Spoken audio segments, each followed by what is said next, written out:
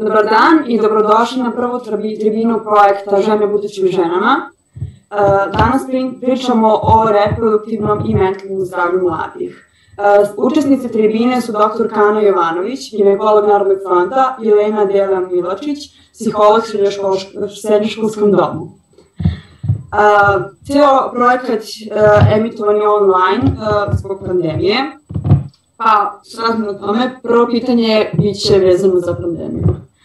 Prvo pitanje je za našu psihološkinu. Kako naći motivaciju i kako ostati fokusiran kada se ništa ne može planirati na duže staze?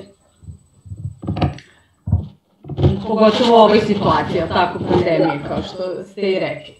E, znate kako, ovaj, e, za početak vi morate prvo ova osoba koja postavila ovo pitanje, ja bih je zamolila da osvesti termine koje upotrebljava, a to je ništa se ne može planirati na dugi stazi.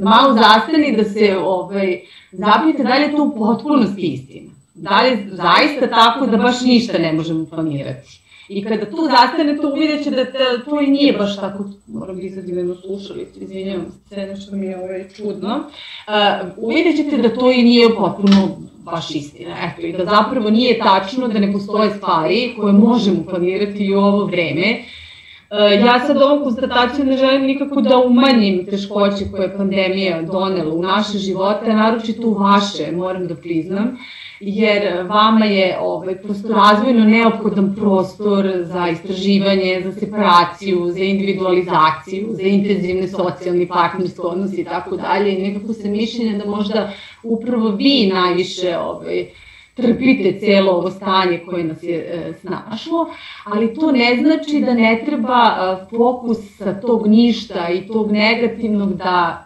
samo malo proširite, ne kažem nikako da stavite ružičaste naočari, to nije poziv na taj pokret, ali samo taj fokus da proširite i da vidite šta ćete tada ugledati.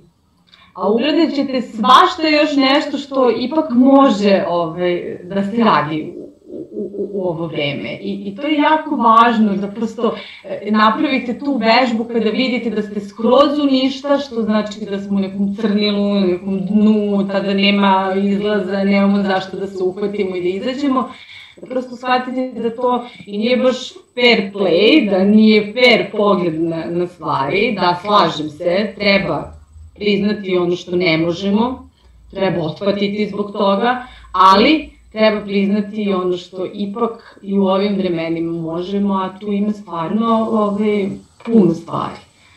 Jako je važno da dobro organizujete svoje vreme, sada je možda važnije nego ikada, da napravite neke dnevne rutine i što se učenja tiče, ovo se pogotovo od kuće, rad, vrlo lako skrenete u koje kakve druge aktivnosti kućne i prosto se fokus sa škole ovaj, vrlo lako pomeri i onda prosto gubite vreme, onda na kraju dana imate osjećanje nezadovoljstva da niste uradili ono što ste planirali i tako dalje. I upravo iz tog razloga, zbog vašeg zadovoljstva, ovaj, bi trebalo lepo da organizujete svoj dan i da se trudite to da uh, ispratite.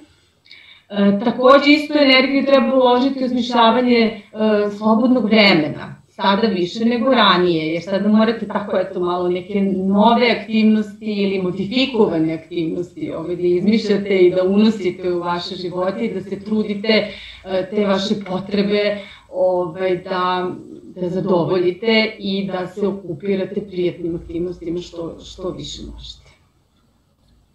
Hvala. Pomenuli ste partnerske odnose. Šta možete da nam kažete na pronalaženje partnera u vreme pandemije i kako to utiče na održavanje veza i na pronalaženje novih veza? Kako pandemija utiče na celu tu situaciju? Uh, pa sigurno da mnogo komplikuje stvar, jer ste vi verovatno kroz uh, izlaske, kafiće, ne znam koliko ste uzrasta, da li su to neki ozbiljni izlasti, tamo upravo i upoznavali i nove ljude i nove socijalno okruženje, pa samim tim i partnere. Tako da, ve, veoma je taj aspekt ovaj, otežan ne za one koji imaju već partnere, oni prosto mogu da održavaju svoju, da nađu način na, ovaj, na koji će održavati svoju vezu u, u, u ovo vreme, ali da, za pronalazak novog partnera ovaj, sigurno da vam je sada znatno teže. Um, dobro, hvala vam.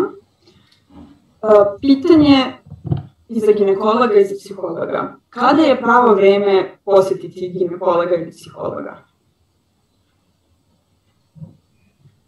Ako ja mogu da kažem sa ginekološke tačke, sa tačke ovaj, lekara na prvo mesto, pa tek onda ginekologa, kada god vi osetite potrebu da želite na prvo mesto da popričate sa nekim ko će vam se svideti, jer to je preduslov da bi sve ostalo i kada je u pitanju ginekološki pregled i svi saveti koji su potrebni mladim ljudima, adolescentima i svim onima koji se tako osjećaju, možda su koju godinu stariji, Ove, znači, taj prvi kontakt, uopšte ne treba da bude prvi kao ginekološki pregled, treba da bude jedan prijatan razgovor gde ćete steći poverenje, znači vi kao budući pacijent i lekar da imate priliku da se otvorite pred lekarom, da kažete sve ono što možda ne možete da kažete ni najbolje prijateljici, a posebno ne možete da kažete majci ili roditeljima, koliko god da imate dobar odnos u kući, Ja naravno apostrofiram da je jako važno da imate e, porodicu kao najvažniju podršku vašu u odrastanju, ali svakako da postoje neke stvari, a posebno stvari vezane za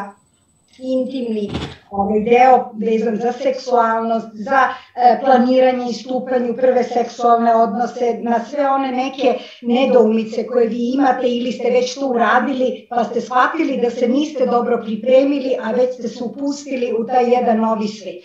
Znači, ako to neko oseti sa 14 godina, onda sa 14. Ako to neko oseti sa 18, sa 18. Isto tako i kada pitate kada je vreme da stupite u seksualne odnose, tu nema pravila. Ono što ja mogu da kažem kao ginekolog je da kada se uspostavi funkcionisanje te osovine mozak i jajnik, to je, hipo, mi to kažemo hipotalamos, hipofizmo, ovarijalna osovina, znači kada ona sazri, devojčica dobije prvu menstruaciju. Već posle nekoliko menstruacija, kada se one uspostave kao redovne, ona zapravo je, e, što se tiče fizičkog zdravlja, već razvijena u tom reproduktivnom i ginekološkom smislu. Ali to ne prati i njen mentalni i socijalni razvoj. Nekom je potrebno da prođe 5 do 10 godina od prve menstruacije da bi razmislila uopšte o stupanju u odnose ili da uopšte ima potrebu da priča sa ginekologom, a nekom je potrebno posle 2 do 3 godine. Ja mislim da tu ne treba da zauzimamo stav koja je to godina, nego treba da nađemo načina da se mladi ljudi bilo samostalno, bilo zajedno sa svojim partnerom jave u savjetovališta ili kod ginekologa e, za koje su čuli da imaju neki drugari ili da kažem iz okruženja prijatno iskustvo, pa da znači počnu sa tim e, prvo razgovorom, a onda i potrebnim pregledima o kojima ćemo verovatno nešto kasnije govoriti. Znači nema zlatnog pravila, e, mi smo uzeli da 18 godina neka da kažemo prosečna granica kada se spoji taj mentalni sa e, ovaj fizičkim razvojem i da otprilike od tih nekih godina 18 je to podjednako dobro razvijeno kod e, najvećeg broja naših adolescenata, međutim nije to a priori pravilo koje važi za sve. Znači neko je tek zreo sa 21 godinom, neko nije zrao ni u mojim godinama, tako da je to vrlo diskutabilno e, šta za koga predstavljaju prave godine, nećete zakasniti, a da li možda nekada iz prevelike želje da nešto isprobate novo, možete da poranite, e to je stvar o kojoj možemo da diskutujemo i mislim da kada biste na vreme pričali i sa vašim bližnjim i sa ljudima, stručnim licima ove, koji se razumeju, kada vam budu izneli sve i lepo i manje lepo, čak mislim da kada se otvoreno o toj temi priča, da onda e, devojke i mladi ljudi ne trče da bi pošto poto recimo stupili u seksualne odnose iz želje da nešto novo probaju, nego to ostavljaju da zaista kada im se probude emocije, kada požele to da rade kao jedan čin ljubavi, onda neko to stupi sa 15, neko sa 20 ili nekom godinom kasnije. Hajde sad ja na isto pitanje, tako da, da odgovorim, pa, pa vrlo ću slično odgovoriti kao dr. Pilanović, a to je da nema nekog univerzalnog ovaj, tajminga, vremena kada bih ja sad savjetovala tad i tad se vratite psihologu. Apsolutno je to vaša procena, prosto je važno da pratite vaše potrebe. Naročito da bi vi pojačano bio savjet da se tada javite ako osjećate neke psihološke ove, ovaj, potreškoće, ali kako vam kažem, i u svakoj drugoj situaciji, pogotovo dok ste u školstvu gde imate mogućnost da samo skrenete u hodnik levo i zakucate na vrata stručnog saradnika, da prosto stvarno koristite te neke stvari, budite mudri, mislim, posle će vam u životu to biti znatno komplikovanije, skuplje i cela procedura će biti ovaj, zahtevnija. Tako da, evo ja učenicima koji dođu kod nas u dom u prvoj godini, moje koleginice i ja ovaj, ih okupljamo, da se upoznamo, da oni nas vide, pošto viđu svoje vaspitače, mi smo nekako u našim kancelarijama, pa su to jedini, jedini, jedini način da nas svi onako na jednom mestu ovaj, vide i mi ih stvarno pozivamo, naravno kad su problemi u pitanju, ali u bilo kojim drugim situacijama koji imaju potrebu. Nekad je lepo samo uleteti i da se pohvališ, da, da dobiješ potvrdu za, za neki uspeh. Eto, apsolutno nema nikakvog pravila. Ja bar tako funkcionišem sa svojim učenicima da vrlo stimulišem takve stvari. samo bih se nadovezala, mislim, vi ste svesni da nije lako pokucati na ta vrata i ući kod psihologa. To je možda najteži korak pri stupanju psihologu. Aha, Jedno, dobro. Više nije problem, ali ja, na primjer, nikad nisam bila kod psihologa, iako je možda nekad bilo potrebe. Jednostavno živimo u takvom društvu gde je taj prvi korak najteži. Kako biste motivisali osobu da dođe na razgovor? E, znate kako, ja sam se upravo i obradovala ovoj temi uh, koja će se odvijati upravo pred adolescentnom populacijom i pre svega sa idejom da se ti neki klišeji, tabuji, e, društveni pritisci možda ovaj, upravo ovom tribinom malo razbiju. Ne, neki jednog uspemo da ovaj, nagovorimo da se obrati e, za stručnu pomoć, pa mislim da možemo smatrati da je ova tribina e, uspešna. Da, vrlo mi je jasno da je e, to kucanje na vrata praćeno i velikim stidom, vero, najverovatnije, ne, ne, sigurno znam stvari, i velikim stidom, i strahom, i možda neznanjem šta se tamo dešava iza tih vrata. Um, predrž nekih stvari koji vas koči, ali e, znate ovako, ajde probajte, ucnite. Um, taj dan ne morate ništa mnogo reći. Samo uđite, predstavite se, recite da ste došli da eksperimentišete, da vidite kako to izgleda.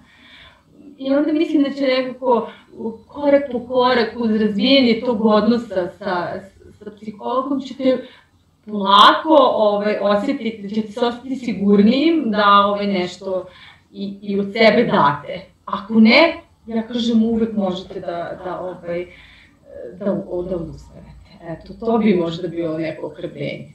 Probajte nekim malim koracima. Eto.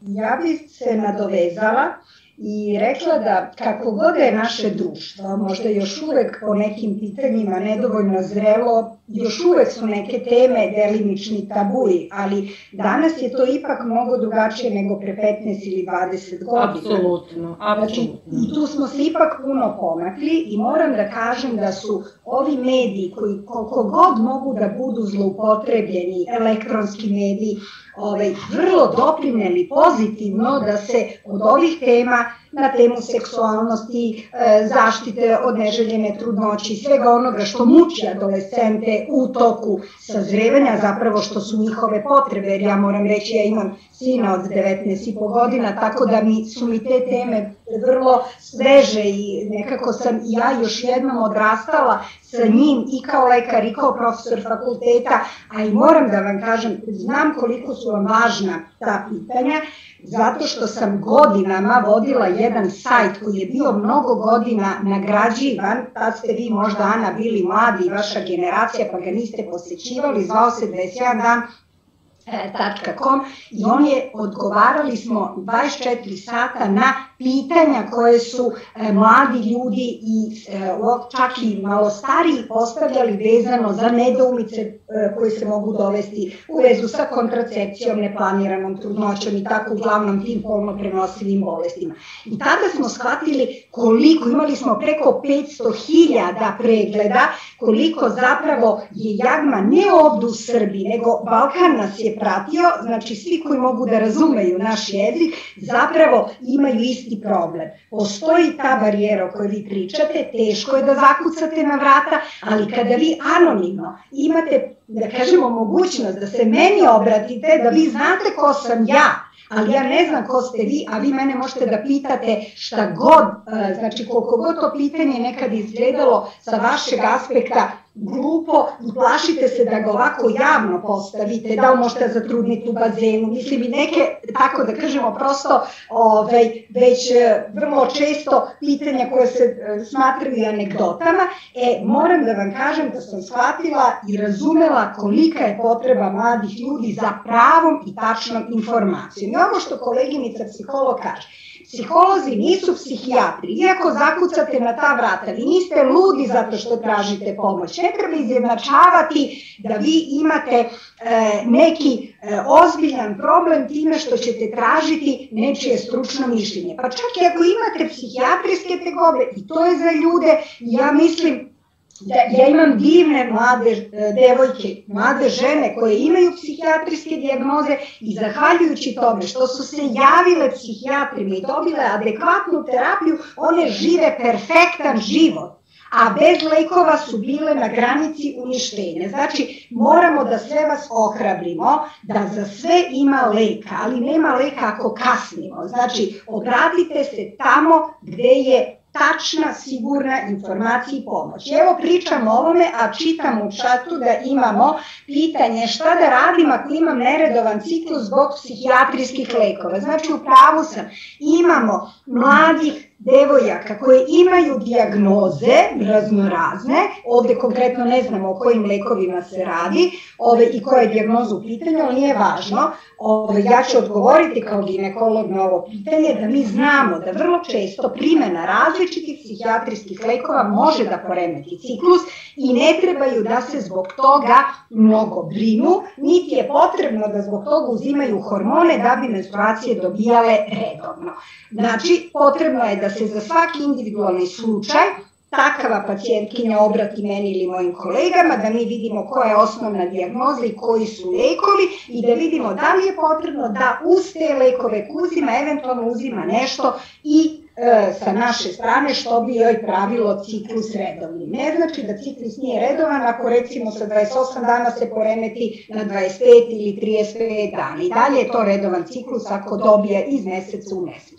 Znači, tema je važna, zakucajte na vrata, koristite to što imate priliku da u školi imate psihologa, to je zaista veliki benefit. I evo ja ću vas Ana pitati, šta vas koči da uđete kroz ta vrata? Pa, uvek sam smatrala da mogu sve da rešim sama. Iako je možda nekad to bilo veće od mene i mučila sam se, uvek sam bila u fazonu ja to mogu sama, ja to mogu s prijateljima i nije potrebna stručna pomoć. I verovatno to mislim i dalje. Tako da, ne znam, ako se nekad desi nešto što pređe moju granicu, možda i samo izvinite, izašlo mi neko, ok, neko obaveštenje na Zoom. Da, da, da. Možda, mislim, možda ne znam. Možda se tad i usudiš, da možda se sad budem usudila, ali kažem vam, smatram da sve mogu sama, da sam dovoljno jaka, da se izdržim sama, ali opet i ta moja snaga ima neke granice. Ali molim vas, to ne znači vašu slabost ako vi pokucate, to je razlika u odrastanju. To ne shvatate u adolescenciji, ali shvatit ćete s 30-40 godina. Traženje pomoći ne znači da smo slabi. Traženje pomoći znači da smo izuzetno jaki, da smo shvatili da nam treba. To je korak više. Tako da ovaj, ne dokazujte svoju snagu e, time što ćete sve staviti još uvek na vaša nejaka pleća jer imati 17, 16, 15 godina, to je najlepše što može jedna mlada osoba da poželi, ali to shvati tek mnogo godina kasnije. Znači, koristite sve što može da vam olakša život, a život će vam na leđa natovariti da morate sami da rešavate kasnije u životu mnogo što što. Sad koristite sve one koji mogu da vam pomognu. Tako je. Hvala. I to upravo ukazuje na vašu zelost, da ste u stvari lepo samo sebe izanalizirali, pronašli neka žarišta u sebi, shvatili da bi možda neko drugi mogao uz vas to zajedno. Pre svega vi radite na problemu i to morate da shvatite. Znači to što vi uključujete nekog u, u stručnu licu u vaše polje, to apsolutno ne znači da neko drugi za vas nešto radi. Isključivo su to vaše snage, vaši kapaciteti, samo prosto vođeni ovaj, od strane uz pomoć stručnog lica. Eto, tako da ne prepuštate se vi nikom, nemojte da brinete, vrlo ste aktivni. Jeste. Sledeće pitanje je takođe vezano za prvi put. E, odgovorili ste na pitanje kada je pravo vreme, to jest kako ne postoji pravo vreme, ali kako se pripremiti za prvi put? I s jedne s druge. Aha, ajte, evo, vidimo ovaj doktor kad uključuje mikrofon. Um, ovako, um, pored fizičke prijatnosti, se, seksualni odnosi, gledani s aspekta psihološkog, uh, podrazumevaju znači, vrhunac bliskosti dva bića. Uh, tada nam, evo i da prevedemo na psihološki jezik, tada nam i popuštaju evo granice, tada se onako najizloženiji srećemo sa nekim drugim u našem polju i to je najdublji kontakt i prebivanje upravo zbog toga.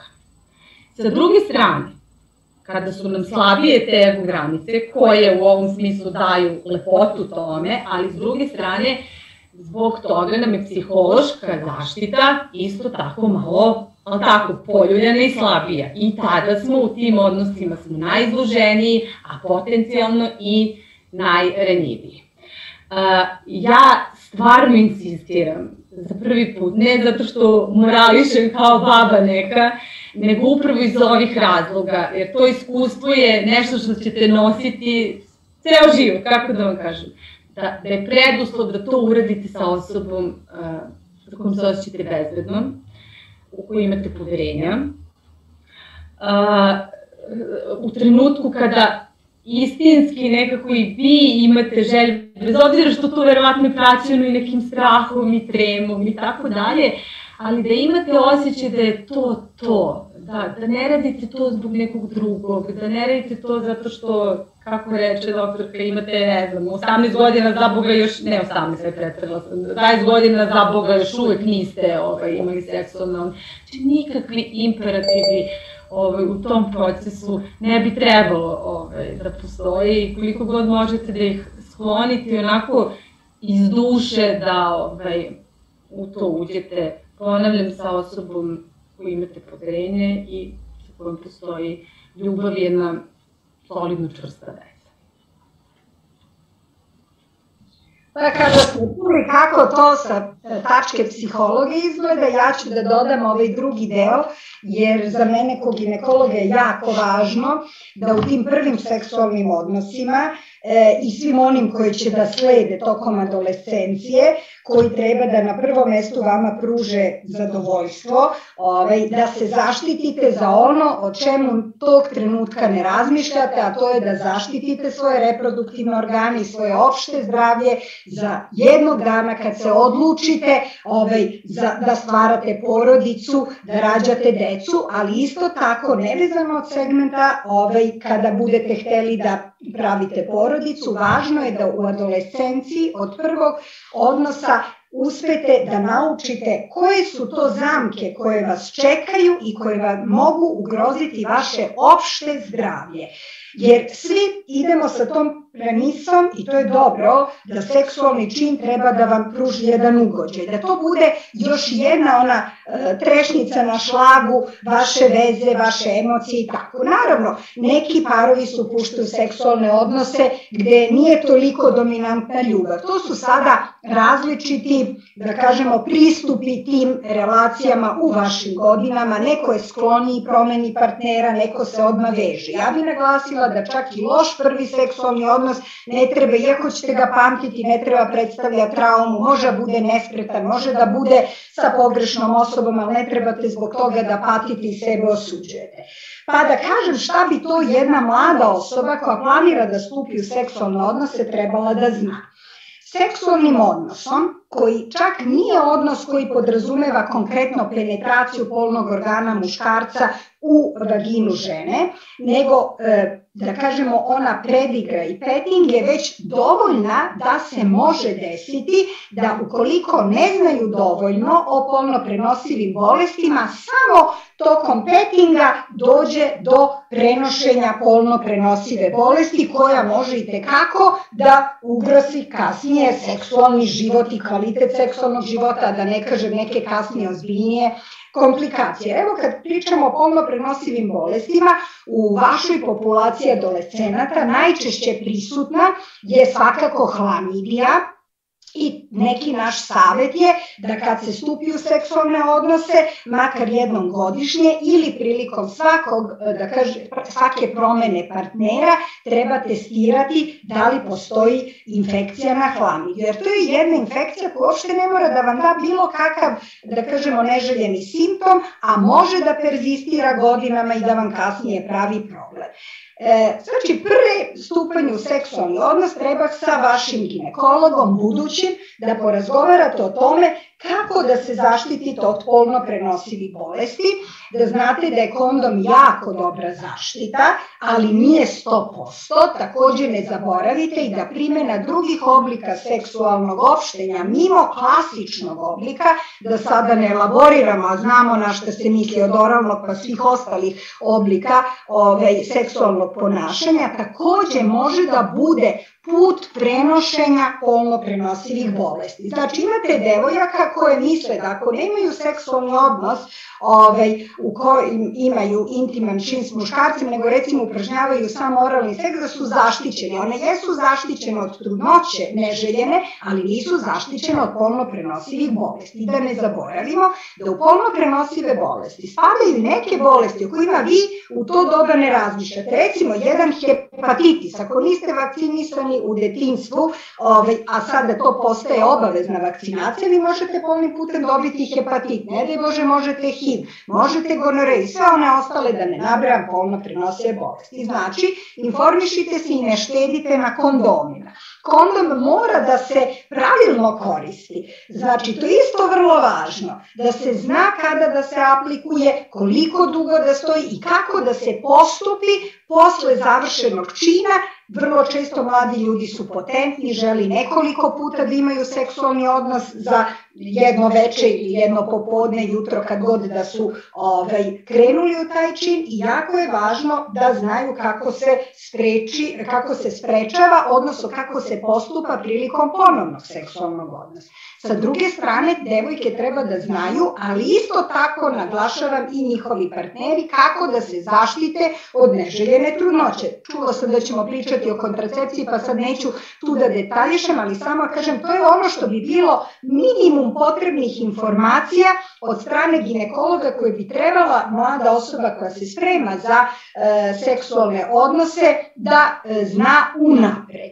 E sada, ne treba ona da zna mnogo, mnogo detalja, ali treba da zna te neke ključne stvari kako će zapravo ona sebi pomoći da taj seksualni čin ne bude posle 10 minuta od završetka ogromna glavobolja. Jer ja lično, pošto imam puno mladih devojaka, adolescentkinja koje imaju seksualne odnose i koje mi se javljaju, shvatam da su se upustile u nešto za što nisu zapravo bile spremne i onda umesto da čin im donese jedno zadovoljstvo i da one uživaju u tome, zapravo predstavlja glavobolju. I onda mi one kažu, sve je bilo u redu, redu dok nismo stupili u odnose, sad samo imam problem, sekreti, pregledi i to. Ne smemo, moramo da nađemo balans da bi zaista seksualni čin bio ono što mu je da kažemo prevashodna i namera. Ne da ispunjavamo bilo kakve zahteve okruženja i partnera, nego da u tome partnerski uživamo. I da znate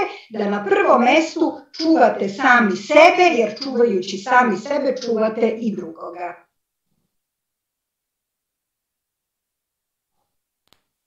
Pitanja iz komentara su vezana za psihologa i terapije.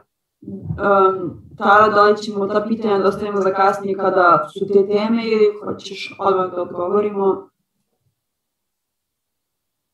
Možemo odgovoriti, ovde čitam da kapaciteti u studenskoj poliklinici Ovaj, samo da kažemo par reči. Tačno je, mi smo u Srbiji imali savršeni sistem savjetovališta i vršnjačke edukacije i iz nekog razloga je to prestalo da funkcioniše u sklopu različite reorganizacije zdravstva. Mislim da je vreme da se ponovo, e, da kažemo, pokrene ta tema jer uvek će stasavati nove generacije i bez obzira ako ja sad edukujem ovu generaciju vašu, ali za pet godina imamo novu generaciju, znači potrebno je svake godine zapravo da kontinuirano postupi, e, da postoje, da kažemo, dostupna savjetovališta, jer komentar jedan kaže savjetovališta postoje, ali mnogo je zainteresovanih, a malo osoba koji rade. Mhm. A posebno počeli smo ovu tribinu sa COVID-om, a posebno u vreme COVID-a kada malte ne medicina osim COVID-a ne postoji. Znači, možda organizovati ovaj, preko ovakvih, da kažemo, radionica, o, makar jednom mesečno ili u nekom vremenskom periodu, da znaju mladi gde mogu da se obrate, da dobiju makar one osnovne, ali tačne informacije.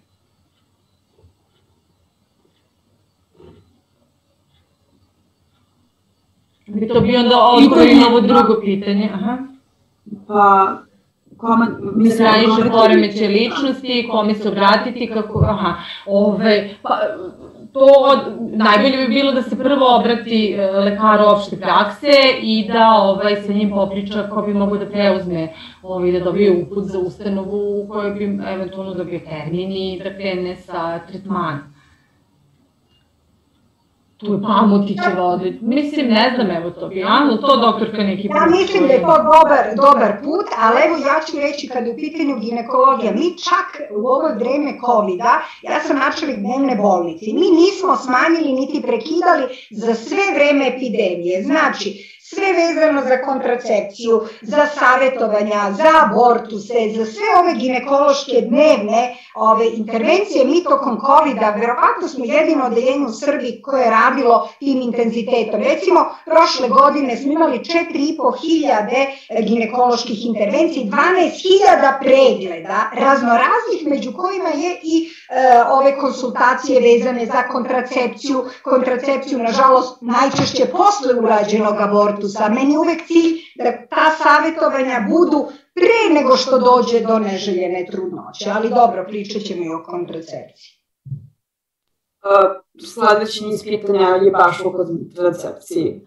A, ja bih vas odmah pitala da nam kažete kako se to pravilno stavlja kondom, pošto ste to malo prepomenuli, pa ćemo preći na tablete i ostale stvari. E, znači, kada je u pitanju stavljanje kondoma, mora da polni organ bude u maksimalnoj erekciji, ali ne sme da bude a da, e, znači, na pola seksualnog čina. Znači, mora da bude blagovremeno. Jer najveći broj u vašem uzrastu neželjenih trudnoća se zapravo dešava prema istraživanjima, oko 20% tih trudnoća se dešava tako što partner štiti e, partnerku i kaže ja znam kada prekinem i ima taj takozvani, mi stručno kažemo coitus interruptus, a zapravo znači da je e, pre nego što će da ejakulira e, izašao iz vagine i ejakulirao u spoljašnju sredinu.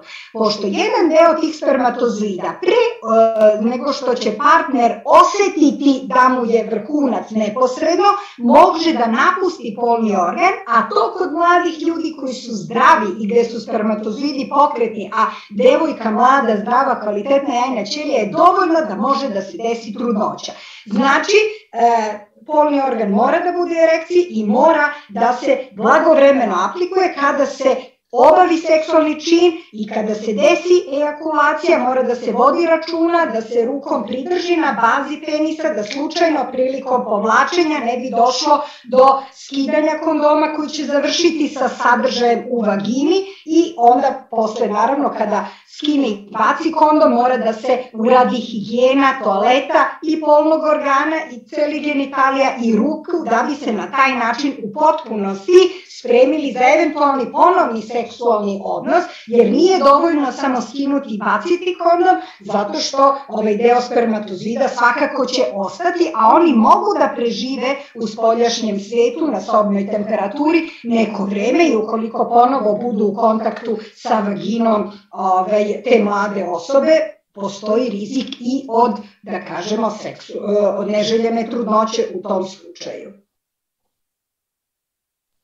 Hvala. U školama, htela sam da vam kažem da imate škole, ovaj, posebno to znam za strane škole, gde imaju čas gde dobijaju banane i krastavce na koje vežbaju deca da bi ovaj, kako se aplikuje kondom pravilno i znači koliko god to izgledalo možda sada nama smešno, zapravo to je očigledno vrlo korisno jer e, onda se i tabuji prevazilaze, jer u odeljenju su i dečaci i devojčice i znači nema neprijatnosti, prevazilazi se ta neprijatnost koliko god e, je nama kao roditeljima to uvek nekako neprijatno da sa svojom decom pričamo, koliko god imamo dobar odnos sa njima. Ja znam kad je moje dete bilo u školi, kada bio je još u osnovnoj školi, kada su imali čas biologije, koji su proveli tako što ih je e, profesorica biologije jurila sa nekim lenjirima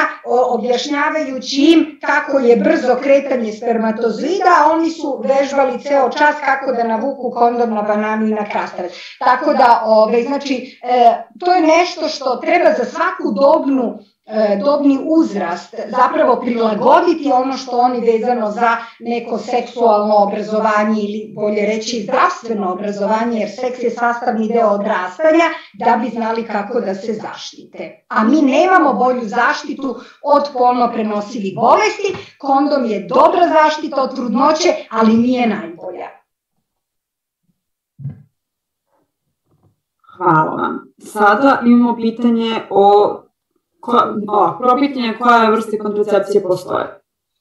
Ali mislim da smo već neki navod. Da, znači pričali smo sada o kondomu i uvek apostrofiram mladi adolescenti, uvek imajte kondom kao zaštitu, koliko god da verujete partneru, kao zaštitu od polno prenosive bolesti. O, a sa druge strane, metode efikasne, savremene i bezbedne kontracepcije su e, hormonske kontraceptivne pilule, ima ih različitih, Takođe spirala dolazi u obzir, ali ne kod svakoga, kao što i pilule nisu za svakoga, postoji ovaj, mogućnost da se aplikuju implanti, da se stavljaju vaginalni hormonski prstenovi, upotreba ženskih kondoma, postoje dijafragme, cervikalne kape, a isto tako, ovaj, znači, postoji kada sve to niste uradili ili ste zaboravili da popijete to što inače metod redovne kontracepcije, obavezna priča danas da odvojimo 10-15 minuta o hitnoj kontracepciji, onoj takozvanoj piluli za dan posle, jer mislim da tu moramo da razbijemo tabuje, jer vam je to poslednja šansa da se ne desi neplanirana trudnoća koja će završiti abortusom. E sad, naravno, svaki od tih kontraceptivnih metoda ima svoju priču. Ja ću naj, reći samo u par reči, da recimo u vašem uzrastu u Americi i u zemljama određenog zapadne Evrope najčešće primenjivani kontraceptivni metodi su takozvane LARC metode. U prevodu to vam je dugo delujuća reverzibilna kontracepcija. Devojke e, vašeg uzrasta, 18, 19, 20 godina, ne vole svaki dan da piju pilule i žele da imaju metod koji će ih štititi tri meseca, e, šest meseci, e, godinu, dve, tri od neželjene trudnoći, da ne razmišljaju svaki dan o tome da su popile pilulu ili ne. Pilula je samo je tačke gledišta kod mlade populacije, kod koje smo dobro razmislili nakon razgovora sa tom osobom, ako nema kontraindikacije, izuzetno dobar kontraceptivni metod, siguran, bezbedan i efikasan. Ali je činjenica da ste mladi da razmišljate o bolje tome kako ćete se našminkati, kako ćete da izgledati u tom seksualnom činu, kakva vam je kosa i vrlo često se zaboravi da se popije ta pilula, a ako se pilule ne piju redovno, onda se njihova efikasnost značajno smanjuje. E, sada vam navedem primjer. Ako bi pilulu pili onako kako piše u kutiji, njena efikasnost je izuzetno visoka, približava se 99%. 7. Ako pilulu pijete kako je pije tipična adolescentkinja, onda je moguće da se efikasnost te pilule spusti na ispod 90%. Znači, vaše e, ponašanje deluje na efikasnost pilule. E zato u ovim zemljama vrlo često spirala je taj metod izbora što kod nas vrlo često ne dolazi u obzir da aplikujete spiralu osobi koja nije rađala. A to nije tačno. Dodatno pitanje. Dodatno pitanje, da li je tačno da kontraceptivne tablete povećavaju eh, plodnost eh, ako se preskoči dan, kao da to žena radi namerno?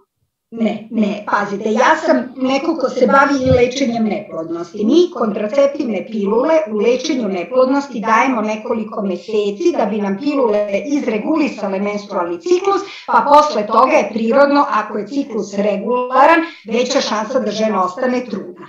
Ali na taj način, kako ste vi rekli, to nije tačno, ali je tačno da ako preskoči dve pilule, posebno u prve dve nedelje korišćenja, da ona nije zaštićena od trudnoće. To je ko da nije pila ništa.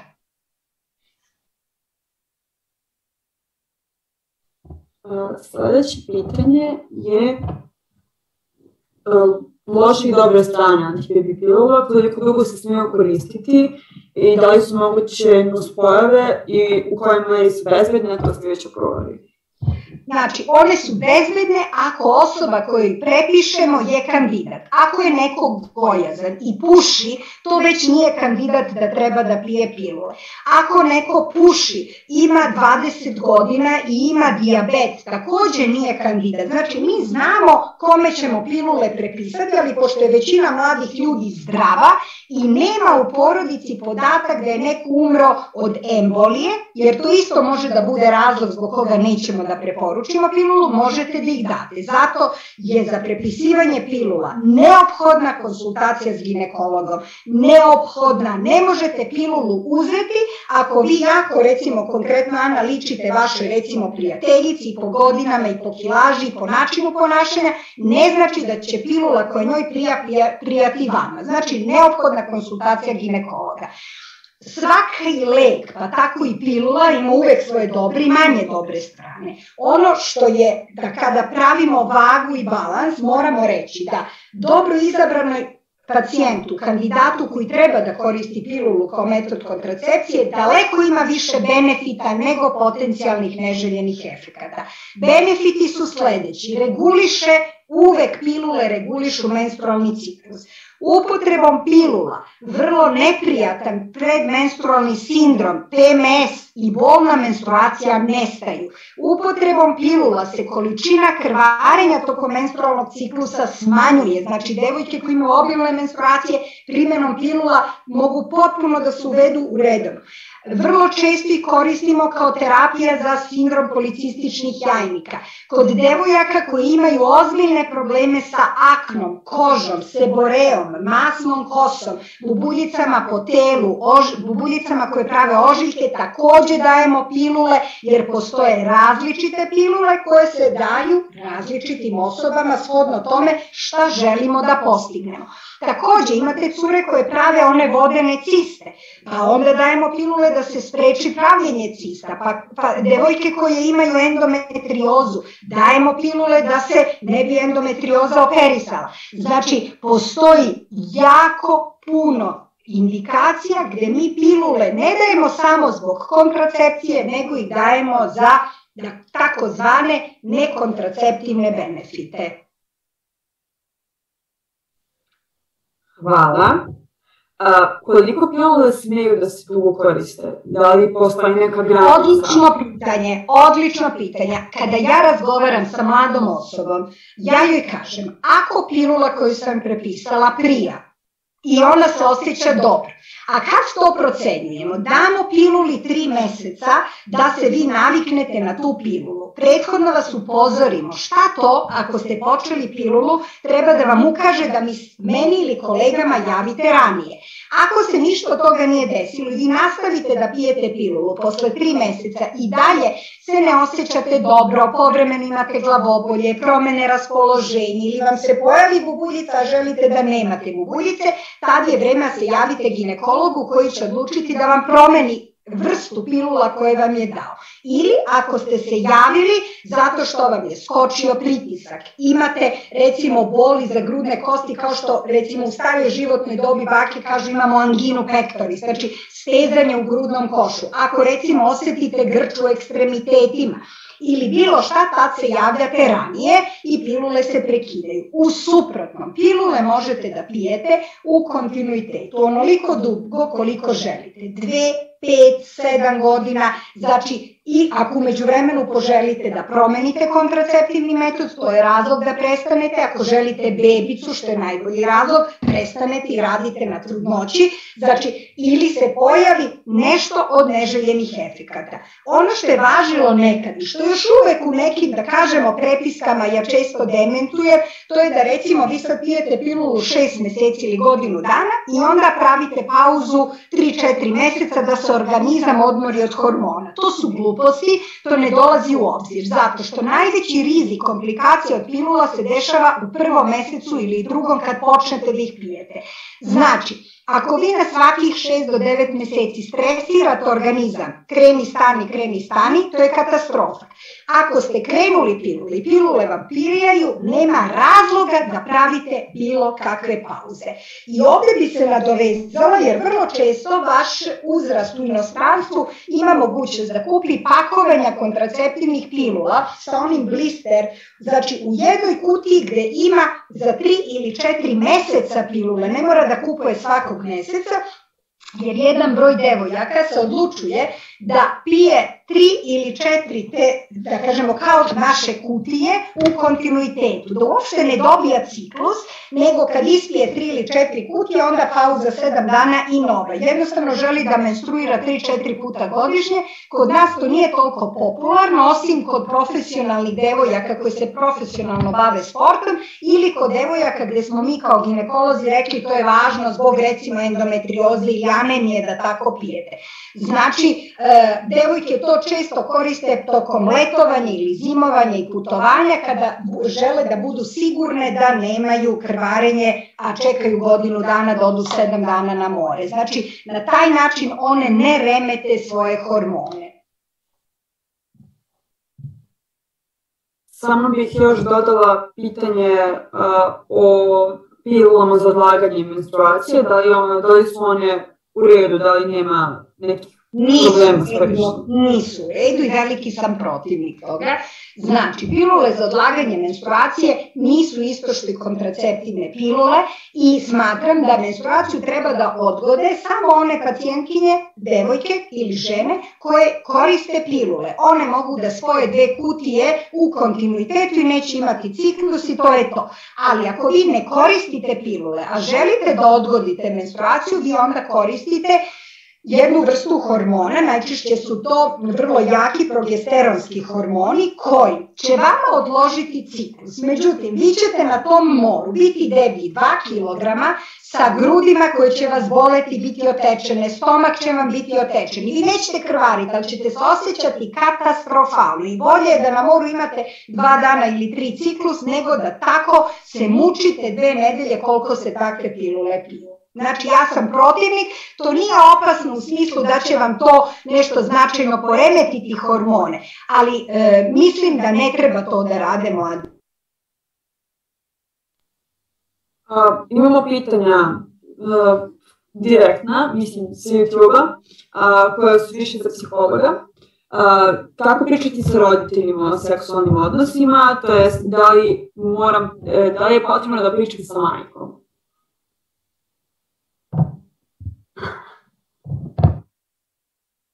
Mikrofon samo. Ove, da, pa, mislim, to bi bilo idealno, ove, ali to sad stvarno mnogo me zavisi i od roditelja i od vas samih. Mislim, da li imate potrebu da o tome pričate sa majkom, da li majka ume na pravi način, prosto da i primi sadržaj koji dolazi od vas treba probati, svakako, mislim, pronađite, opet sad govorim o tim malim koracima, krenite pomalo, nač, načinjite svoju majku ovaj, uvođenjem u, u te teme i prosto pratite njeno ponašanje. Ja verujem da ako je ovako pitanje postavljeno, da se nekako principira da bi tu moglo da dođe ne do nekog problema, ali možda ne do protočnosti ovaj, razgovora sa roditeljima ali svakako probajte. Naročito ako imate potrebu. I ja mislim da je važno, mislim da roditelji apsolutno ovaj, budu, pre svega s tog zdravstvenog aspekta, ovaj, da budu upućeni u te faze života u kojima se vi nalazite. Ja, ne zamišljam da taj razgovor treba da bude da vi detaljišete kao s drugaricom, mislim šta se događalo u tom seksualnom činu i sa vašim partnerom, ali prosto neke te bazične informacije uh, bi svakako treba ali mnogo mi zavisi, kažem, opet od roditelja, kako će, kako će reagovati na to što od vas dobije. Evo, ja ću apropo ovoga malo da ohrabrim e, naše slušateljki i slušalca koji ima i mladića, to bi bilo jako dobro. Ja kad sam bila mlada, jako, ja recimo, moji roditelji su intelektualci, obrazovani, ali sam imala taj jedan zazor da sa njima pričam na ovu temu. Do duše bilo i drugo vreme, mnogo su bile veće stigme, tabui vezani za ovu temu. I posle mnogo godina, kada sam ja vrlo aktivno počela da pomažem adolescentima i da se bavim zapravo i promocijom reproduktivnog zdravlja i među adolescentima i među malo starijima.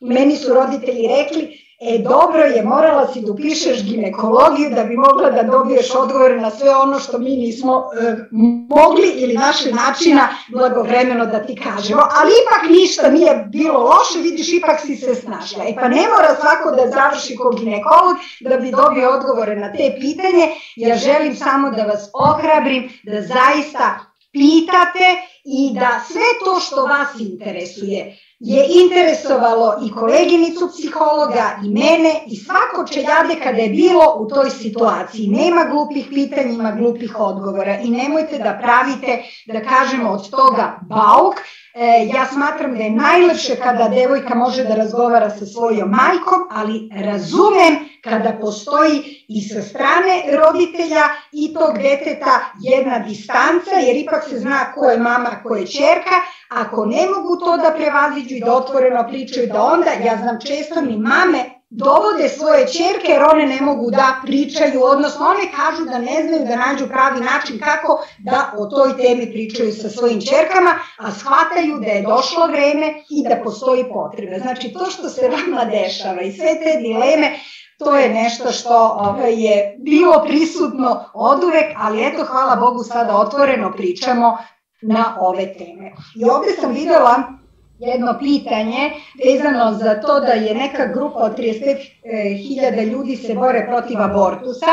Ja mislim da se u Srbiji neće menjati zakon. U Srbiji zakon o abortusu za sada dozvoljava preki trudnoće do 10. nedelje ove, trudnoće merene ultrazvukom na zahtev žene, odnosno svaka devojka od 16 godina ove, može uz lični potpis dokumentaciju da prekine trudnoća, da ne traži odobrenje ovaj, čak ni od roditelja, bez obzira što je a, mlađa od 18 godina, mora imati ličnu kartu. Naravno, ja ovaj, sam uvek za to da izbegnemo te maloletničke trudnoće koje završe abortusom, e, treba uraditi sve da svako dete bude željeno i da se rodi, ali eto da znate da je takva situacija sada i odgovor na to pitanje je da naš zakon verujem da neće biti restriktivan kao u Poljskoj ovaj, vezano za dozvolu abortusa. I imam pitanje da li je loše ako su menstruacije kratke i minimalne, da li to znači da se naš organizam ne čisti dovoljno ili postoji neki drugi razlog.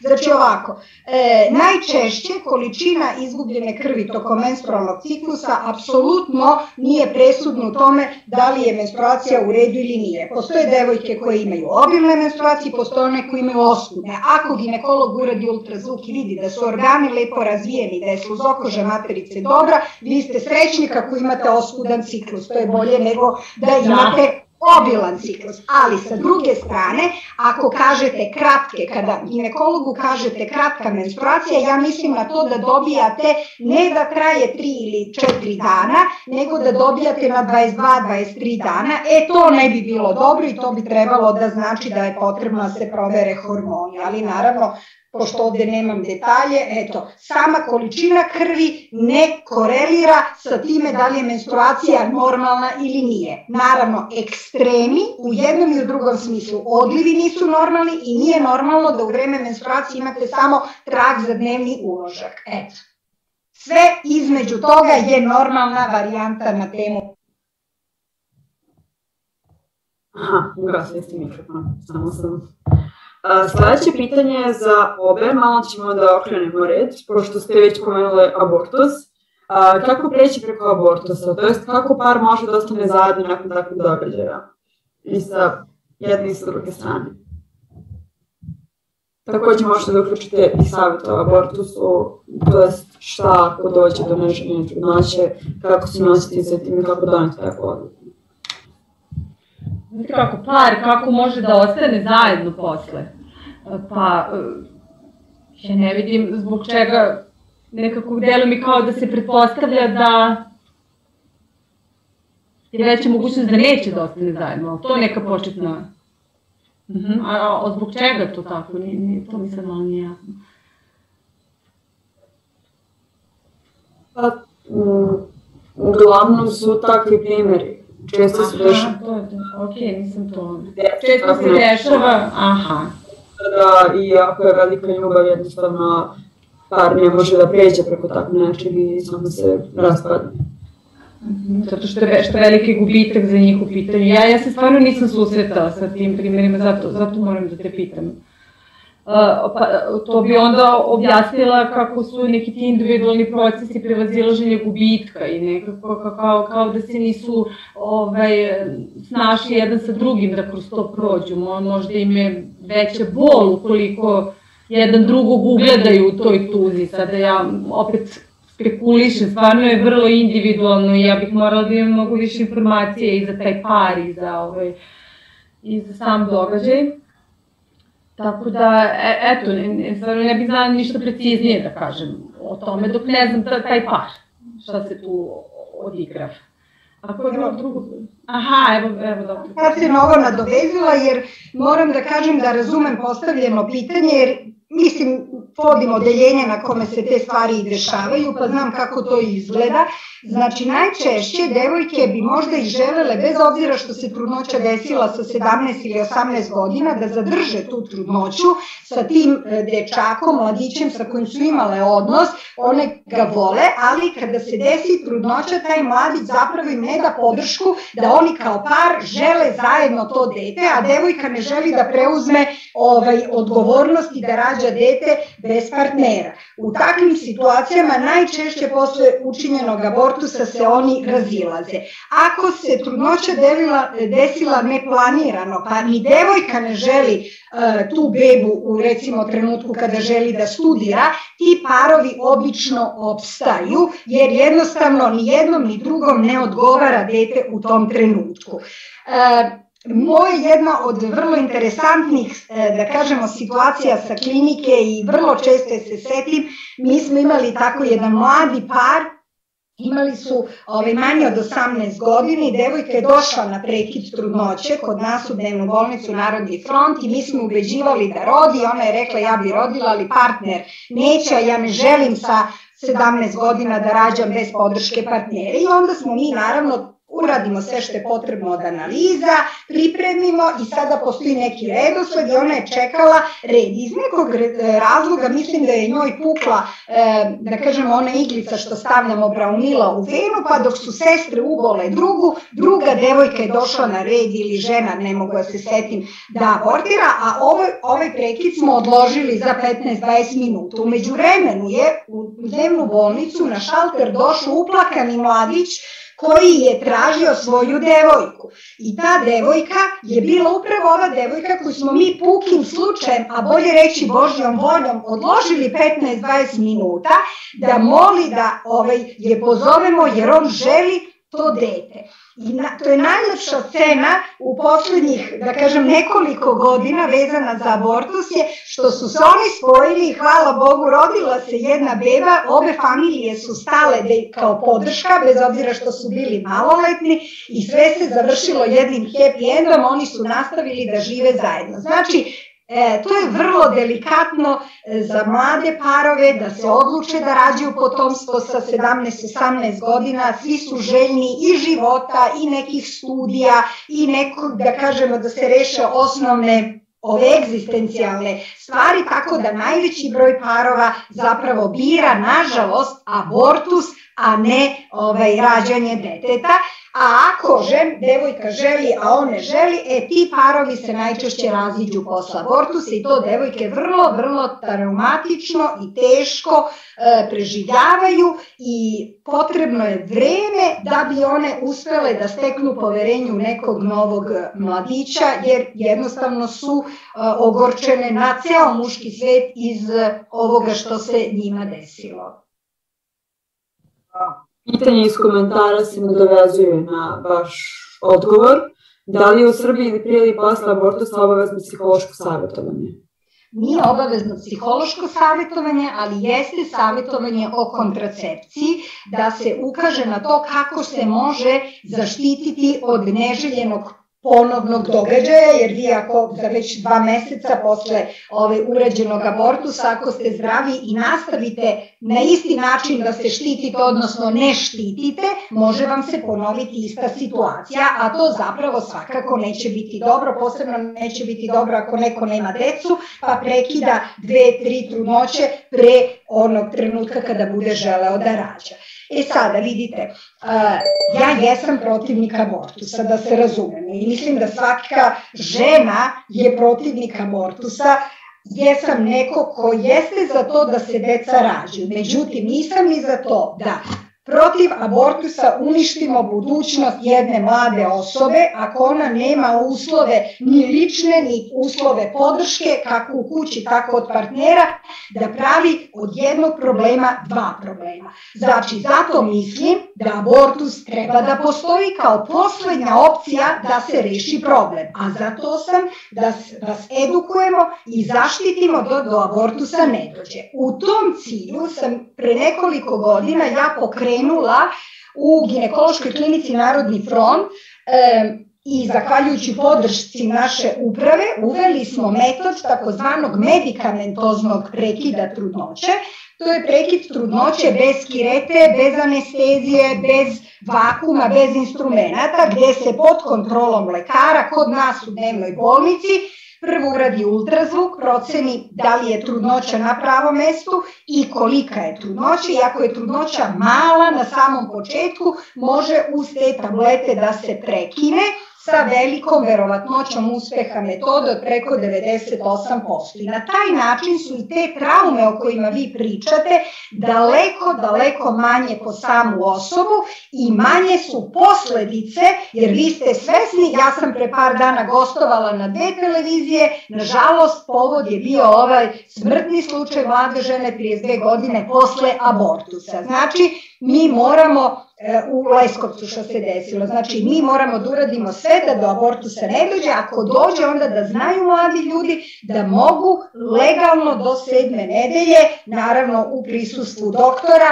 u klinici Narodni front da obave i takvu vrstu prekida. Ovo nije reklama, da se razumemo, ni slučajno, ovo je samo informacija da niste prepušteni sami sebi, da smo mi tu za vas i da morate imati od nas direktne i tačne informacije. I zato zahtevam da ponovo, e, kada se steknu uslovi u odnosu na to ne znam koliko je sati, vam kažem za mlade ljude pa reči o hitnoj kontracepciji.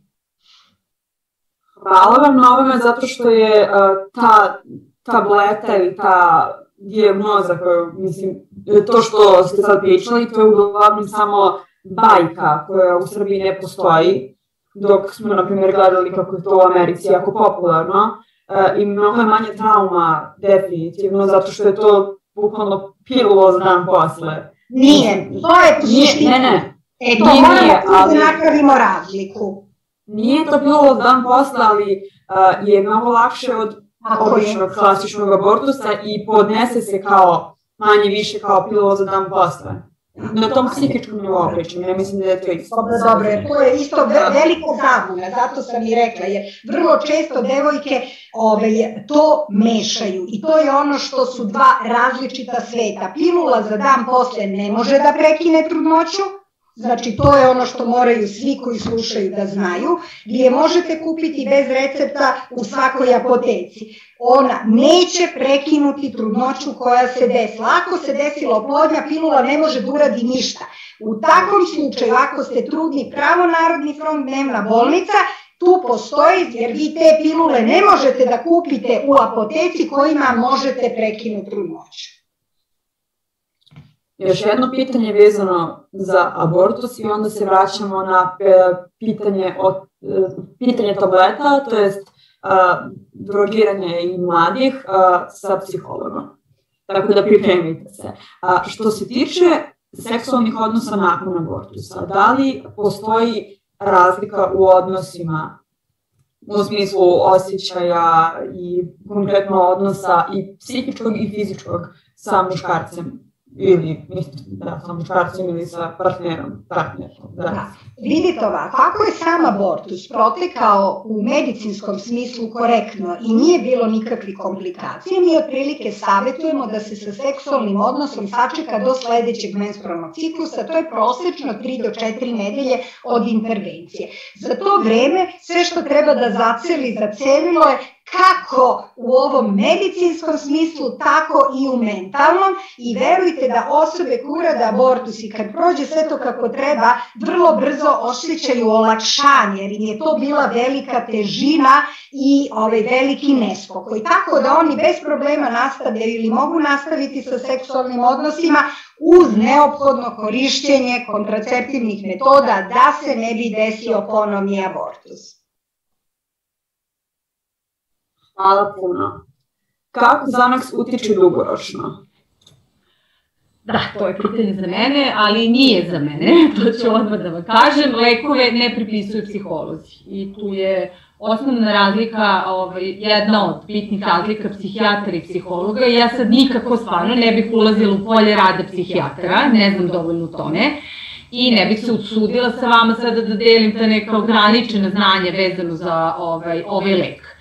Ono što znam je da Xanax, Xanax e, pripada grupi anksiolitika, a ono što sam sigurna je da celu grupu tu lekova, anksiolitike, antidepresive, antipsihotike, hipnotike, nikako, nikako, nikako ne treba uzimati na svoju ruku. Ja se nadam, ali čujem da i nije tako slučaj, da, da, da može, mogu da se nabave i mimo recepta, ali to je užasno jedna opasna zona. Uh, pored neophodnosti da stručno lice uopšte odredi da li su nekom potrebni ti lekovi, takođe je veoma važno i pravilno doziranje i prilikom dizanja doze do te neke željene, a takođe i proces e, prekidanja uzimanja terapije isto ima neke svoje pravilnosti koje mogu stvarno da mislim, naprave dar mar ukoliko se ovaj, neodgovorno ka tome postave. Znači, psihijatar i nikako sami, a, a ja tek ovaj, ne, ne, ne usuđujem se da ulazim u tu.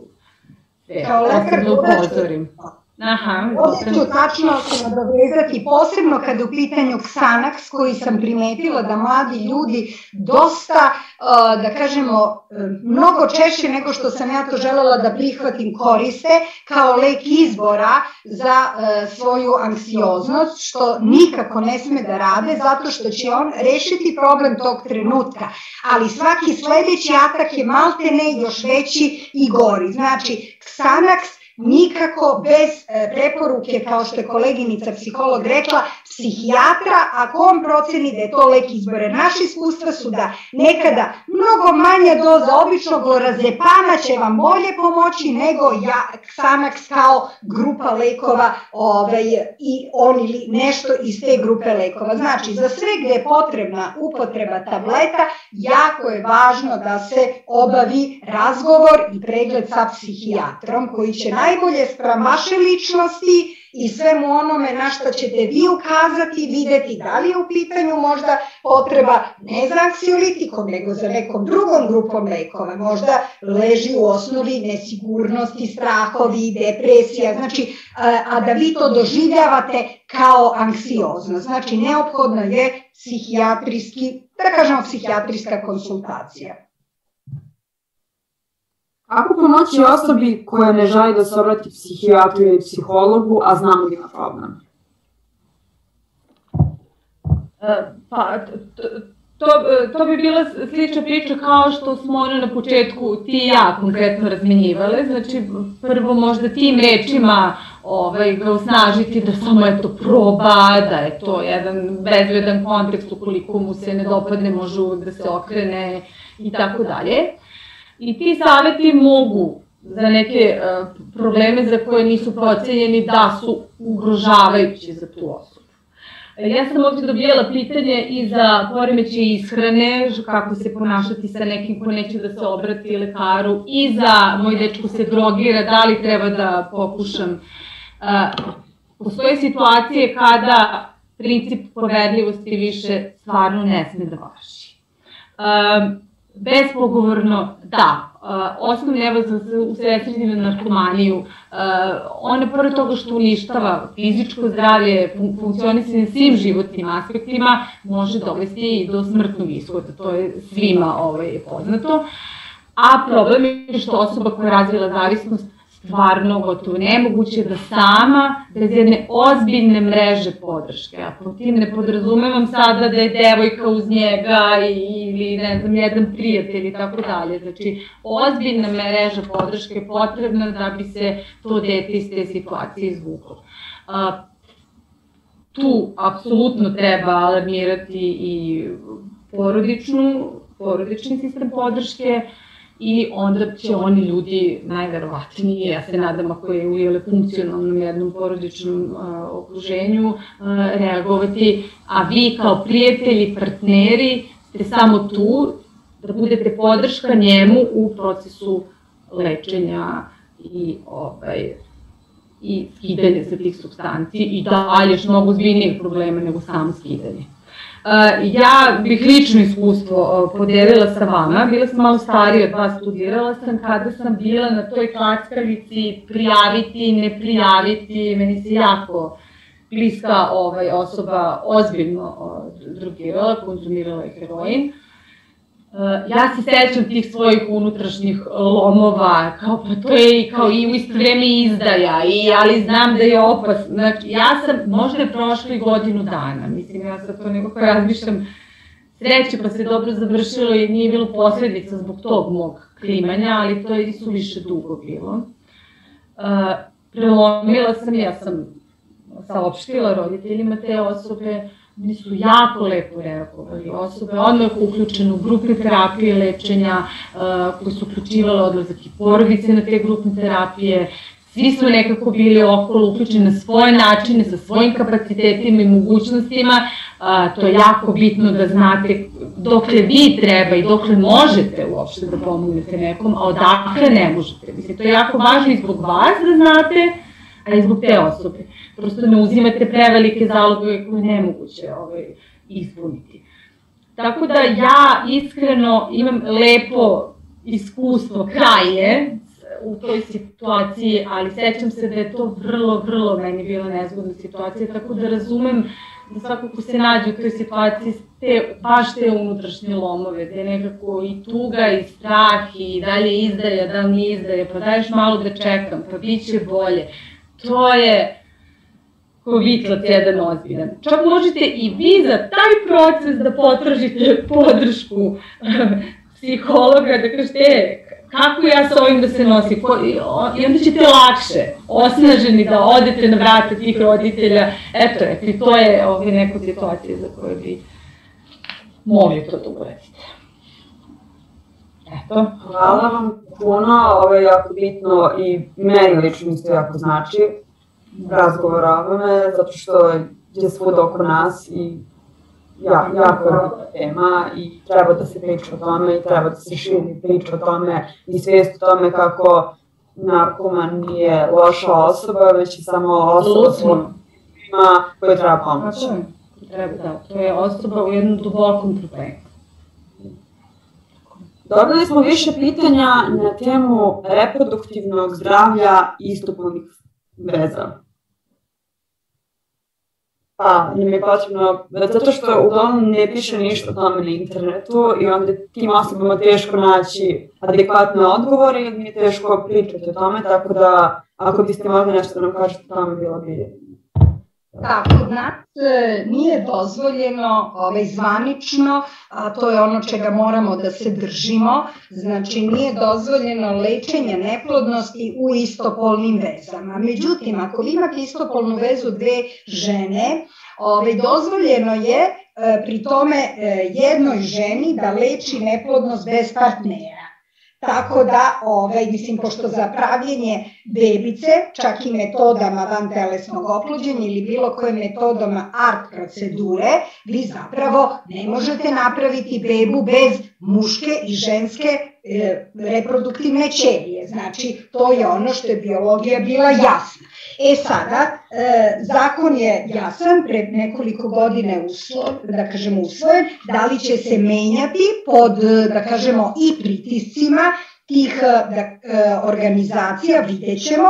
Za sada samo vrlo je delikatna tema i za, e, na svetskom nivou nemate usaglašene stavove. Vi recimo u Americi u jednoj Kaliforniji možete sve, a recimo u Massachusettsu ne možete ništa. Tako da u, u okviru jedne države nemate ista pravila. Isto je tako i u Evropi. Ako imate recimo dva muškarca koji bi želeli da se ostvare kao roditelji, ovaj, oni zapravo bi morali da imaju surogat ženu koja će im e, jedan put roditi dete sa, e, da kažemo, spermatozoidima jednog muškarca, a drugi put, ukoliko postoji želja, sa spermatozoidima drugog muškarca. Surogat kod nas nije dozvoljen, tako da surogat nije dozvoljen čak ni u parovima gde postoji muškarci i žene koji žele dete, a recimo žena nema matericu jer imala karcinom. Tako da i te pacijentkinje koje imaju muža moraju da idu u neku od zemalja gde je to surogat materinstvo dozvoljeno. Znači, e, nekako e, kod žena je ipak za nijansu lakše u tom slučaju rešiti problem nego kod muškarca. Mislim, ja sam imala prilike sa velikim intelektualcima iz sveta koji su bili na funkcijama ovde kod nas u Srbiji iz različitih, da kažemo, sfera društvenog života, koji su se javno deklarisali kao ovaj, gej populacija koja, ovaj, recimo, kad su čuli da sam ja ginekolog, ovaj, su se otvorili i pričali o tome, pa je jednom od tih recimo e, žena u Nepalu nosila dete, a drugom u Americi. Uvek te zemlje, da kažemo Azija ili Istok imaju nižu cenu i onda se ljudi opredeljuju tamo gde to je finije, dok recimo u Americi je to izuzetno skupo. Tako da ovog trenutka ovaj, još uvek nismo u mogućnosti da pomognemo toj populaciji, ali možemo, mi koji se bavimo reproduktivnom medicinom i tekako mnogo znamo o tome i možemo da im damo ove konkretne savete kako bi na najlakši način mogli da dođu do potomstva u njihovom konkretnom slučaju. A kako se dve žene štiti, kako da se štite od polnoprenosivih bolesti?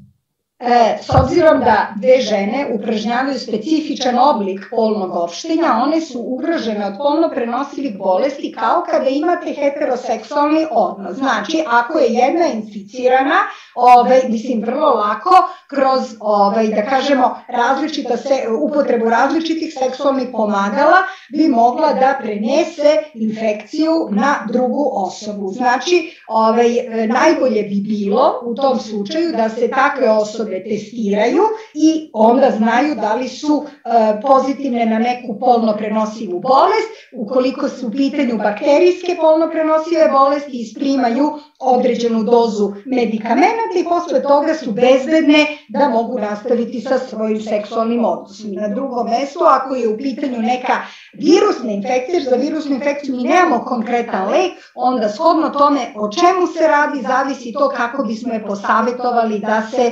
štiti, da ne dobije tu, ovaj, da kažemo, polnu prenosivu bolest. Evo recimo, verovatno vama najinteresantnija za vašu dobnu grupu, ne razmišljate toliko o hepatitu i drugim, ali recimo o HPV infekciji koja se vrlo jednostavno može preneti kontaktom i to samo koža-koža je nešto što ovaj, možete da se zaštitite ako recimo blagovremeno primite pre nego što ste inficirani vakcinu protiv HPV-a. Znači, to je nešto što može i tekako sprečiti dalje širenje HPV infekcija. HPV infekcija se najčešće prenosi seksualnim putem i najčešći je uzrok, recimo u kasnijem životnom periodu, raka grlića materica, ali isto tako i raka usne šupljine i anusa. Znači sve ono gde zapravo današnji modeli seksualnog opštenja podrazumevaju, tako da svi ti putevi zapravo su podjednako rizični za prenos polno prenosivih bolesti. A, dodatno pitanje vezano za taj HPV, okay. lepo da. A, čitala smo da je moguće vakcinisati se do 14. godine. Ne, ne tačno. Netačno je, odlično. To je bilo, to je bilo. Ali šta morate da. znati? Možete da se vakcinišete i sa 25 godina, ako niste imali seksualne odnose ili ako ste imali, a nemate promene na grliću koje su vezane za HPV infekciju, ukoliko papa test je uredan i ukoliko ste HPV negativni. E, ta HPV vakcina koja danas postoji na tržištu je HPV vakcina protiv devet najčešćih HPV virusa, dva tipa su ona za šiljate kondilome, a ovih sedam su onkogeni virusi koji mogu perzistencijom uz druge rizikofaktore kao što je pušenje, pad imuniteta, česte infekcije, uticati da se razvije neko, ne daj Bože, maligno oboljenje koje je vezano za HPV. Pošto mi je ostalo još malo vremena, ostavila bih vam malo vremena da pričate o piluli za dan posle i kasnije bih vas pitala obe mišljenja o dve interesantne teme koje su jako popularne u našem društvu trenutno, koje su baš za diskusiju, tako da a, Leno, još jedno e sad. Aha, ne, ja sam mislila da, da li ćeš reći koje dve teme, to nisi rekao pa, okay. Jedno pitanje je, a, da li biste mogli da nam kažete nešto više o Edipovom i elektrinom kompleksu, poznatim kao daddy mommy issues i kako oni utiču na e, veze koje formiramo kroz život. A drugo pitanje je kako pornografija utiče na samopouzdanje žena. Tako da, dok nam doktorka objašnjava o pilulama za dan posle. A... Dobro. Evo ovako da znate, znači pilula za dan posle kako joj ime kaže, nije ona pilula za dan posle, to je takozvani metod hitne kontracepcije. To znači da niste koristili kondom ili je kondom pukao, spao ili šta god, ili Zaboravili ste da popijete dve, tri pilule iz pakovanja ako pijete redovno pilule, ali ste taj mesec zaboravili. Znači, to je takozvana emergency contraception, hitna kontracepcija i nije redovna. I to znači ovako, imali smo sad seksualni odnos, recimo nismo koristili ništa od kontracepcije, e, odnos je bio do kraja, ejakulirao je u vaginu i vi već posle 2-3 sata od tog seksualnog odnosa odete u prvu apoteku ako tu pilulu nemate kod kuće i popijete. Pilula je najefikasnija ukoliko se popije što pre posle seksualnog odnosa, može piše unutar 72 sata, ali mnogo efikasnija ako se popije posle 5-6 sati ili unutar 24 sata nego ako čekate 72 sata. Šta je za nju važno? Njena efikasnost je 99%, a 1% neće delovati. To 1% podrazumeva da se e, već desila ovulacija. Tad je kasno, ali vi nećete znati da se ovulacija desila ili ne, zato je za vas važno da što pre popijete tu pilulu. I ono što je neophodno da znate, da ako posle popijene te pilule ne, ne budete u zabludi da vas ona štiti 72 sata, pa imate još tri nezaštićena seksualna odnosa posle svakog sledećeg nezaštićenog odnosa morate ponovo popiti. To ne znači da treba taj mesec da popijete 3, 4, 5 puta, nego popijete sada i svaki naredni seks do menstruacije mora da bude sa kondomom ili da nemate seks do naredne menstruacije, a ne nikako da imate ponovo nezaštićeni seksualni odnos. U slučaju, u slučaju da menstruacija kasni, morate uraditi test na trudnoću da se ne desi da ste vi onaj 1%. Ukoliko se desi trudnoća, a vi se predomislite i želite da rodite, ta pilula koju ste popili ništa nažao neće detetu uraditi. Ako želite abortus, onda ćete naravno u skladu sa svim što smo prethodno pričali se javiti kod nas da se to obavi na najbezbolniji i najmanje rizičan odnos. Znači, pilula za kontracepciju nije nikakva hormonska bomba, ali nije ni bombona. Daleko je bolje popiti pilulu nego završiti na abortusu. To je moja poruka. Znači, to je poslednja šansa da sprečite neželjenu trudnoću koja će završiti abortusom. E, neće ugroziti vaše zdravlje, niti vaš hormonski status. Napravit će malo problem sa krvarenjima koji će se regulisati spontano narednih nekoliko meseci. Kod nekog će napraviti, kod većine neće.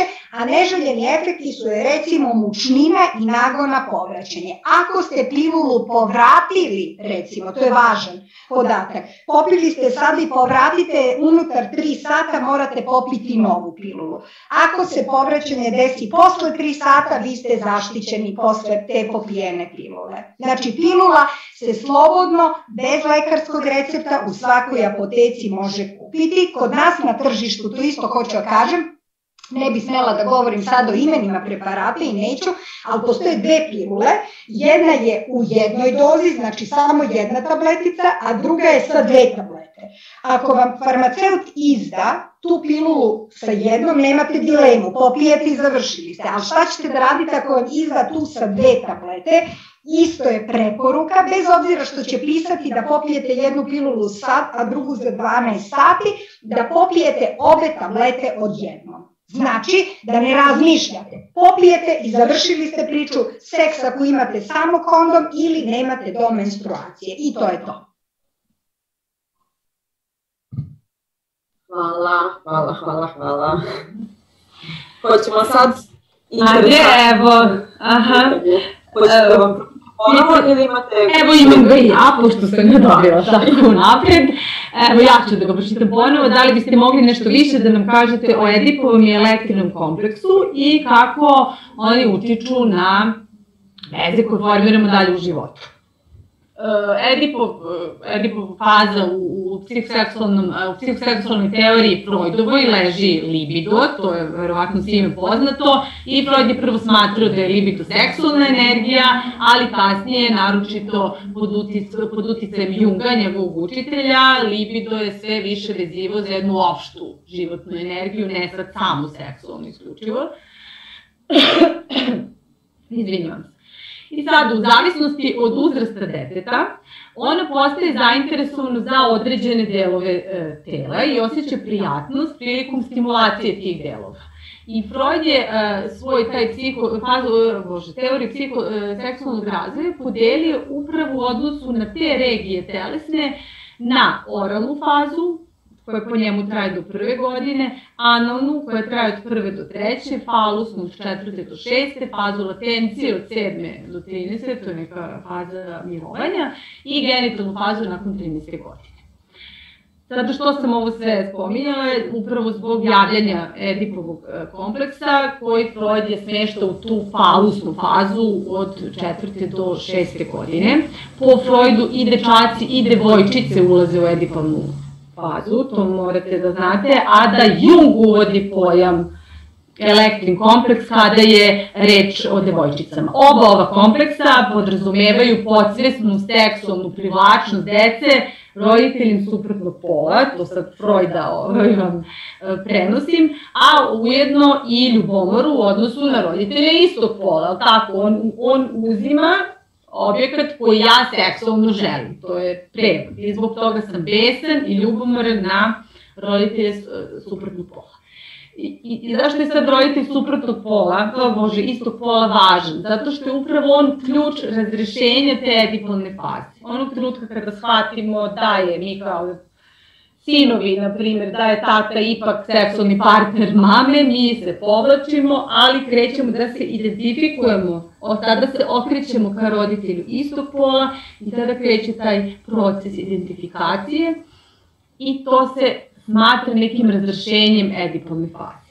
Kada se ovo razrešenje ne odigra, iz koje kakvih raznih razloga, da li nije odgovor oca adekvatan, da li je, nije odgovor majke adekvatan, da li je dinamika neka u tom trenutku porodična tako da ne podrži procese deteta da se tako šalta s jednog sa drugog, onda, se do, onda dolazi do nerazrešenog edipalnog, odnosno po Jungu, elektrinog e, kompleksa.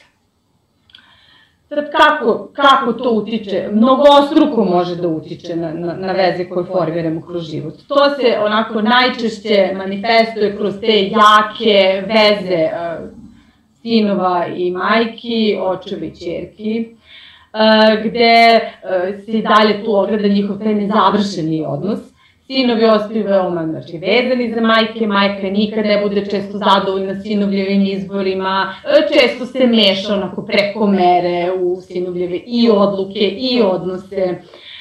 I tako jedno biće redko kad bude potpunosti u potpunosti sposoban da ostvari sada kvalitetne jedne partnerske odnose na nekoj e, drugoj strani. To isto važi i za devojčice.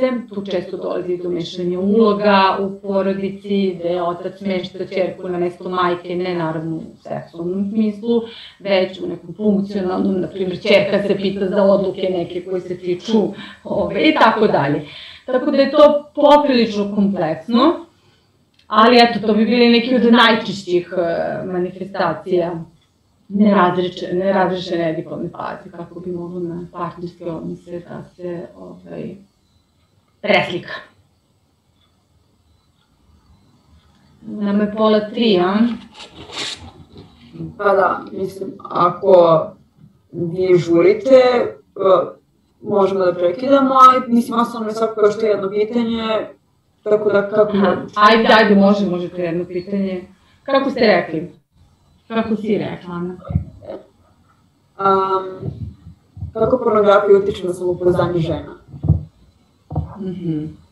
E sad, to pitanje nisam, do... na, na šta mislite, na šta se misli tu tačno? Da li to što partneri gledaju pornografiju ili zato što ona vidi nešto što ne može te kriterijume da ispuni ili na šta se tačno misli? Na sve to zajedno, na to kako društvo gleda na pornografiju i na to kako to utiče na ženu i na odnos žene prema partneru i na to što partner gleda i to što, apsolutno sve što ste rekli plus odnos društva prema tome. Aha. ja bih čak ovde možda izabrala s aspekta žene da vam odgovorim, a ne s aspekta psihologa. Znači šta, kad razumete mušku seksualnost, da ovaj, se oni mnogo više uh, vizualno stimulišu nego što je to možda kod žena u pitanju, prosto to razumete, ja ne, eto, to je sada moj, ja kažem, moj sad vrlo, vrlo privatan i lični stav. Ja uh, ne bih doživela kao uvredu, iskreno, kada bih zatekla partnera da gleda porno film. Ja to moram da vam kažem ja lično. Što ne znači da bi sad svako to ovaj, doživio, ne znači da bih sad baš volela da znam i da ne znam, ne, ne, nešto se tako između ovaj, što se toga tiče. A, a što se tiče ovoga što šta oni stave neke kriterijume pred sebe, pa malo ste i vi, da, morate samo malo jasnije ove pitanje da mi postavite. Pa, mislim, oni imaju neke očekivanja, možda. Aha, ne, dobro. Idealnu ženu, mislim, idealno seksualno biće zapravo. I, iako sami često ne ostvaruju kriterijume muškaraca iz porno filmova. Zahtevaju od devojaka, da. Sjajno. Eto, to, to se, možda i to baš upravo odgovor na ovo pitanje. da kad oni budu to što žele, Tako je. da i to drugo. Ali ja ću samo da vas pozdravim, jer mene od tri sata pacijenti, ovaj, sjajne ste bile, nadam se da smo bila od koristi ovaj, našim slušalcima pa nadam se je bio i ko neki mladić, eto, ako bude bilo prilike, ponovo ćemo se sastati, ali ne vredi, pacijenti zovu. Ovaj, zovu i zovu. Mislim, rečeno je do 14.30, ja sam to knap da bi stigla u ordinaciju. Izvinite mi jednom, i pozdravlja vas od srca, sjajna zamisao, sjajna tribina i očekujem da ćete vi biti svi uspešni i zadovoljni mladi ljudi. Moja poruka je, pošto ste mi rekli što je poslednje pitanje, je pametan, sa 18, ovako, sa skoro 50, da vi imate 18, budite to što jeste i moja vam je poruka da verujte i cenite sebe. Onako kako sebe vidite i prezentujete, tako će vas doživeti i drugi. To je moje, da kažem, i lično i profesionalno iskustvo. Želim vam uspeha u radu i prijatno. Doviđenja, ja sam Prijatno. Doviđenja. E sad, da, to, to se sad opet vraćamo pred stavljanje očekivanja pred nekog koji su idu preko naših granica. To se sad opet vraćamo i na pitanje naših granica na pitanje uh, toga kako doživljavamo kada dođe, kao da je sada nešto što mi moramo da ispunimo. Uh, ne, apsolutno ne moramo to da ispunimo. To može uh, vrlo na lep način da se saopštuje, to mi je previše, ja se noćam udobno u tim stvarima, ne bih volela da to radim i tako dalje. A opet i samopouzdanje je tu isto jedna jako bitna tema koja se sada prožima kroz to. E, tako da, eto, možda bi ako se to sad u mnogome poljulja, bi trebalo malo da postanete svesni vaših kvaliteta, da to što vaš muškarac traži nešto što je njega seksualno stimulisalo, ovaj, što je pogleda u pornu filmu, to apsolutno ne znači da mu vi niste dovoljni, ne znači mu da, ovaj, tako da, eto, to, to su mi se malo, ne, stvarno mi je nezgodno sa tim nepreciznim ovim pitanjima da, da, da izađem na kraj, tako da... A, zato što je od osobe do osobe jako je lično i da. zavisi od odnosa između dve osobe, tako da je i ovaj odgovor adekvatan.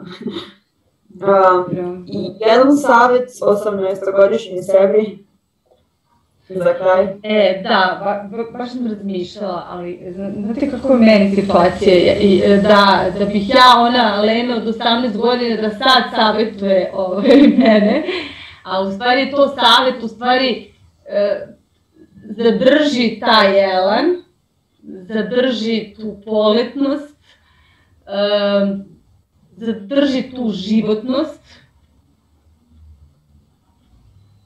sačuvaj, sad ću reći sa kliše, dete u sebe, ali sačuvaj tu razigranost koju, koju imaš i ne daje, dobro je drži. Eto, to bi mi ovaj bio savjet. Prelepo, hvala. Hvala i vama. Hvala vama. Jako je bilo korisno sve ovo što smo čule danas. Uh, i ja, ja sam puno naučila, dobro dan, doktor Kjani, da.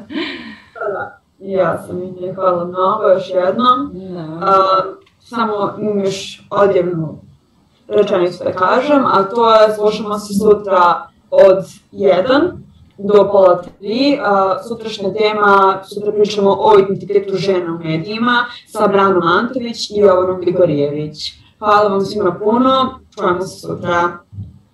Prijetno, hvala, sjajni ste.